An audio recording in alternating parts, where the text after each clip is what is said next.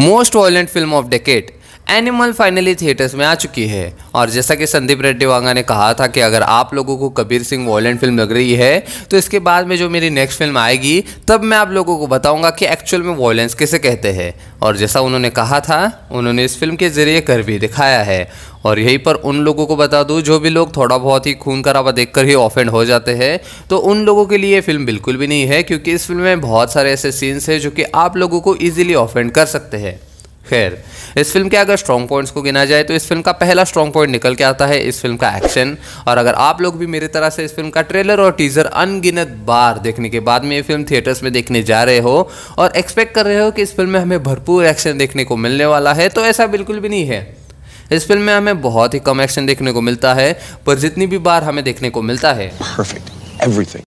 हाँ तो अभी आप लोग बोलोगे कि अगर इस फ़िल्म में एक्शन कम है तो इस फ़िल्म में एक्शन के अलावा और है क्या?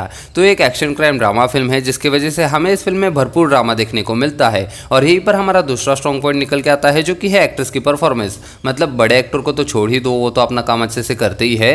पर इस फ़िल्म के छोटे से छोटे कैरेक्टर ने भी अपने तरफ़ से हंड्रेड दिया है। और शायद से इसी रीज़न के चलते इस फ़िल्म की लेंथ ऑलमोस्ट साढ़े तीन घंटे की होने के बावजूद भी ये फ़िल्म हमें एक भी मिनट के लिए बोर नहीं कराती।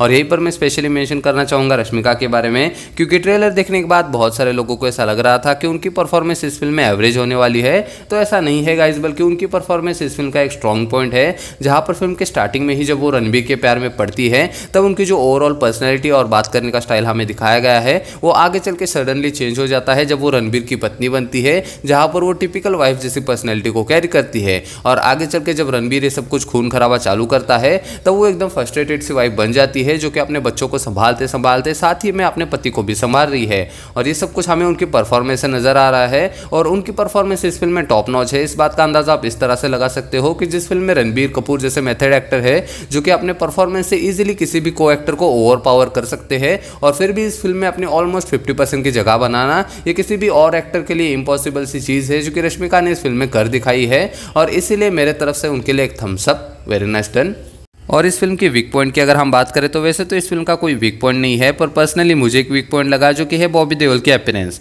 मतलब आप अपने हाथों की उंगलियों पर गिन सकते हो, सिर्फ़ उतने ही मिनट्स के लिए बॉबी देओल हमें स्क्रीन पर नज़र आते हैं, पर जिस तरह का उनका कैरेक्टर है, ये कैरेक्टर फ़िल्म में और दो तीन सीन्स तो डिजर्व करता था। और वैसे देखा जाए तो फ़िल्म साढ़े तीन घंटे की है, जिसमें इंटरवल और एड्स वगैरह मिला दिया जाए तो चार घंटे तो हमें वैसे भी थिएटर्स में बैठना ही है। तो इसमें बॉबी देओल के और दो तीन सीन्स ऐड कर देते तो चल जाता यार। और वैसे भी एड्स वगैरह ऐड करने की कोई ज़रूरत नहीं है। उन्हें कट करके वहाँ पर हमें वो भी दे बोल के।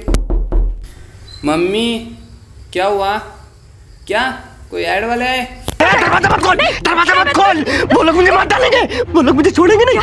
सुन सुन। कौन लोग? अरे अरे बड़े खतरनाक लोग हैं।